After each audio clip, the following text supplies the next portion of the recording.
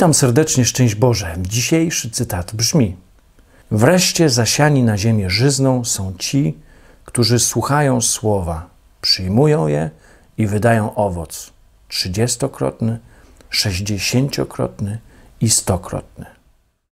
Kochani, my, uczniowie Jezusa albo kandydaci na uczniów Jezusa, często mamy jeden poważny problem. Nie rozumiemy Jezusa. Albo go nie słyszymy, albo go nie rozumiemy, tracimy go z oczu i nie wiemy, dokąd mamy pójść. Wielu ludzi właśnie ma z tym problem. Nie słyszę Jezusa.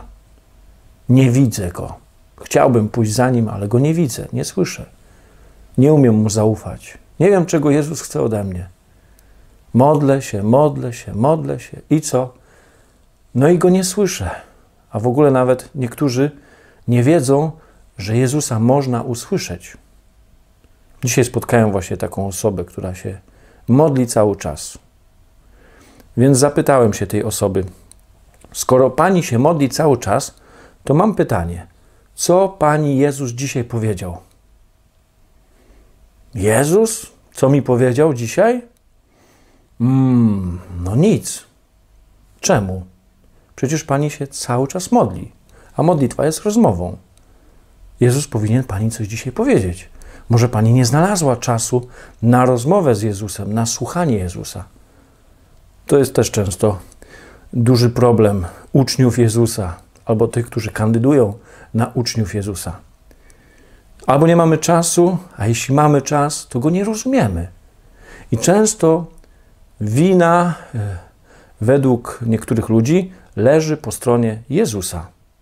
No bo gdyby Jezus zmienił sposób mówienia, gdyby zaczął do mnie mówić inaczej, bardziej zrozumiale, wtedy ja mógłbym go zrozumieć, wtedy mógłbym go usłyszeć i wtedy mógłbym zrobić to, czego on chce, a ja nie wiem, czego on chce.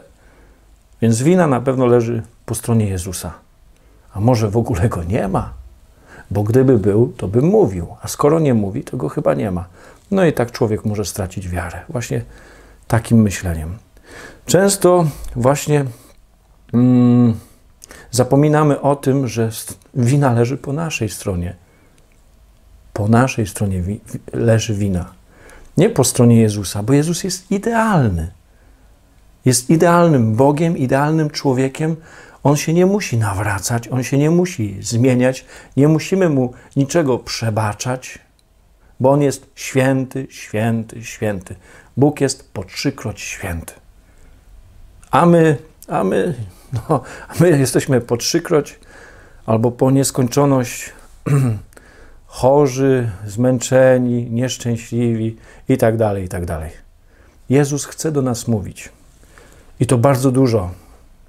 On jest gotowy na, na to, żeby mówić, bo to, bo to dzisiaj On chce do nas mówić. Przeczytajmy fragment z dzisiejszej Ewangelii. Tylko połowę tej Ewangelii przeczytam. Drugą część, proszę Ciebie, droga siostro, drogi bracie, przeczytaj we własnym zakresie. Kto ma uszy do słuchania, niechaj słucha. Ewangelia według świętego Marka. Jezus znowu zaczął nauczać nad jeziorem. Czyli On wychodzi z inicjatywą nauczania. On chce mówić. On jest gotowy do tego, żeby nauczać. I bardzo wielki tłum zebrał się przy nim. Dlatego wszedł do łodzi i usiadł w niej na jeziorze, a cały tłum stał na brzegu jeziora. Nauczał ich wiele w przypowieściach i mówił im w swojej nauce. Słuchajcie, oto siewca wyszedł siać, a gdy siał, jedno ziarno padło na drogę i przyleciały ptaki i wydziobały je. Inne padło na grunt skalisty, gdzie nie miało miejsca, gdzie nie miało wiele ziemi. I wnet wzeszło, bo nie było głęboko w glebie – lecz po wschodzie słońca przypaliło się i uschło, bo nie miało korzenia. Inne padło między ciernia, ciernie wybujały i zagłuszyły je, tak że nie wydało owocu. Inne wreszcie padły na ziemię żyzną i, wydawa i wydawały plon, wschodząc i rosnąc. a przynosiły plon trzydziestokrotny, sześćdziesięciokrotny i stokrotny. I dodał, kto ma uszy do słuchania, niechaj słucha. A gdy był, gdy był sam, pytali go ci, którzy przy nim byli, razem z dwunastoma, o przypowieść. On im odrzekł: Wam dana jest tajemnica Królestwa Bożego. Dla tych zaś, którzy są poza wami, wszystko dzieje się w przypowieściach, aby patrzyli uważnie, a nie widzieli, słuchali uważnie, a nie rozumieli, żeby się nie nawrócili i nie była im odpuszczona wina.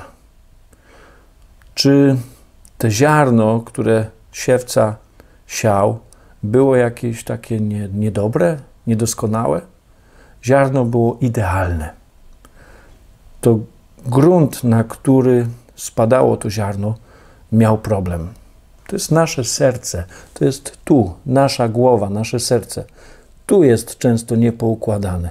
My nie jesteśmy gotowi przyjąć tego, co, co nam chce powiedzieć Jezus.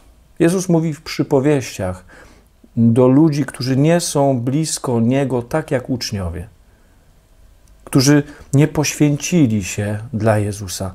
Bo trzeba pamiętać, że uczniowie zostawili wszystko. Nie mogli pójść za Jezusem, jeśli nie zostawili wszystkiego. Ci ludzie, ten tłum, nie zostawił wszystkiego. On zostawiał, ten tłum zostawiał wszystko na chwilę, na jakąś chwilę, na jakieś krótkie doświadczenie. Boli mnie ręka, idę do, do Jezusa. Jezus dotknie, przejdzie.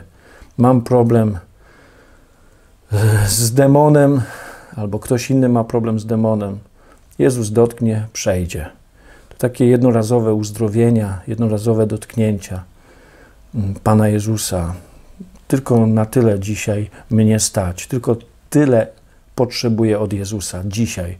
Nie chcę poświęcać się dla Jezusa nie chcę zostawiać wszystkiego dla Jezusa. Uczniowie zostawili wszystko dla Jezusa i poszli za nim. I dlatego przyszli do niego i pytali się go na osobności. A gdy był sam, pytali go ci, którzy przy nim byli. Gdzie są tłumy? Tłumy sobie poszły już do domu, bo dostały to, co chciały, więcej nie chciały. Nie chciały się aż tak bardzo zbliżać do Jezusa. Dlatego Jezus mówił im: tylko w przypowieściach, tak żeby się nie nawrócili, ale dał im szansę. Ziarno jest zawsze dobre. Słowo Jezusa jest zawsze dostępne dla nas. Na wyciągnięcie ręki wystarczy sięgnąć często tylko na półkę, żeby, żeby spotkać się ze Słowem Jezusa. Ale żeby Słowo Jezusa zostało przyjęte przez nas i żeby ono wydało plon, to musi dojść do nawracania się. Tu musimy się nawracać nieustannie. To jest trudne, to jest bolesne. Trzeba wszystko zmienić, zmienić myślenie. Uczniowie nawet nie rozumieją tych przypowieści, ale Jezus daje im więcej, tłumaczy im więcej, bardziej, bo oni zostawili wszystko. Bo oni mają czas rano, żeby słuchać Jezusa. Czy jesteś w stanie rano po otworzeniu oczu zajrzeć do tego, co Jezus ma dzisiaj na, e, przygotowane na, na, na, na to spotkanie z Tobą. Często tego nie robimy. Jeśli tutaj jesteś regularnie, to znaczy, że masz czas, że chcesz słuchać słów Jezusa i moich słów. Mam nadzieję, że to, co mówię, znaczy wierzę w to, że to, co mówię, pochodzi od Boga. Mm, bo doświadczam tego na swojej własnej skórze, w swoim własnym życiu i też czytam Wasze komentarze. Jezus jest blisko nas. On jest perfekcyjny, on jest idealny, on się nie musi nawracać. Ile razy tak się modliłem? Panie Jezu, weź się ogarnij, zrób coś, no weź coś zrób. Ty nic nie robisz. Ty się o mnie nie troszczysz, ty się o mnie nie martwisz. Zachowywałem się jak ta Marta. Nadal mi się to zdarza. A on milczy. On milczy. Jakby nie chciał mi nic powiedzieć, a już tyle mi powiedział, tyle już do mnie mówi, codziennie do mnie mówi, ale ja go często nie chcę usłyszeć, nie chcę go zrozumieć i proszę go o to, żeby on zrozumiał mnie. Ty mnie zrozum. Ty zobacz, w jakiej ja jestem sytuacji. Czy on mnie nie rozumie? Czy on mnie nie stworzył? Czy on mnie nie zna? Ja siebie nie znam, jak on mnie zna.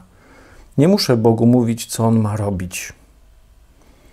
Mam go przyjąć, żeby było, e, żeby to słowo wypełniło się we mnie. Wreszcie padło na ziemię żyzną. Wreszcie padło na ziemię żyzną. Tu musi być ziemia żyzna, użyźniona. Ci, którzy siali jakieś nasiona, ci, którzy mają działki, wiedzą o tym, że nie można posiać czegoś bez przygotowania gruntu, bo nic nie wyrośnie.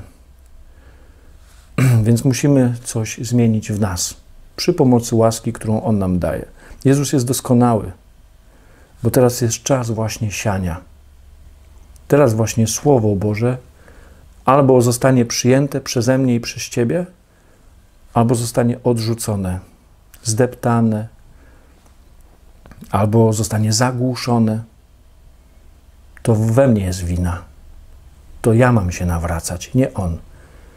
Więc nigdy nie, nie podchodźmy do, do, do Jezusa właśnie w taki, w taki sposób. Ty się nawróć do mnie. On, on jest zwrócony twarzą ku mnie. On tu wszędzie jest. Widzę krzyż, widzę tutaj młodego Jezusa z Maryją, z Józefem. On jest wszędzie, blisko mnie. Jest w moim sercu, jest w moich myślach, chce być w moim sercu, chce być w moich myślach. On jest gotowy, żeby mi pomóc. Tylko ja go często nie chcę słuchać, bo nie chcę być jego uczniem, bo chcę go tylko tak przyjmować na chwilę. No, szybko, zrób coś dla mnie. No. Uczyń jakiś znak, uczyń jakiś cud, pomóż mi tak szybciutko żebym ja mógł sobie tam żyć spokojnie, z dala od Ciebie, żebym mógł żyć e, jak chcę. Hm. On chce, żebyśmy byli Jego uczniami. Po to właśnie posłał uczniów na cały świat, żeby uczniowie czynili inne narody uczniami, bo tylko uczeń um, może przyjąć w pełni naukę Jezusa. Tylko uczeń. Czy jesteś uczniem Jezusa? Czy chcesz być uczniem Jezusa? Czy może tylko się modlisz? Ale nie chcesz usłyszeć tego, co Pan chce ci powiedzieć. Jaka jest odpowiedź? Znajdźmy tę odpowiedź. Poszukajmy tej odpowiedzi w naszym sercu. Udzielmy jej dzisiaj. Czego ja chcę?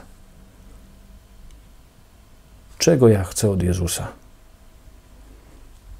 Czy chcę być Jego uczniem, czy chcę być tylko Jego, e, czy chcę być takim tylko człowiekiem z tłumu, który przychodzi i odchodzi, kiedy chce, jak chce. Tłumy miały problem z tym, żeby go znaleźć. Często go nie potrafiły znaleźć. On uciekał też często przed tłumami. Z uczniami częściej przebywał. Uczniom wszystko tłumaczył, Amen. Jak Bóg da, to widzimy się jutro z Panem Bogiem i pozdrawiam. Aha, jeszcze nie, e, nie powiedziałem wszystkiego, zapomniałbym. Jak chcecie się ze mną modlić, to o 19 wieczorem tu na kanale, na YouTubie i na, na Facebooku możemy się spotkać o 19 dzisiaj wieczorem. Pozdrawiam.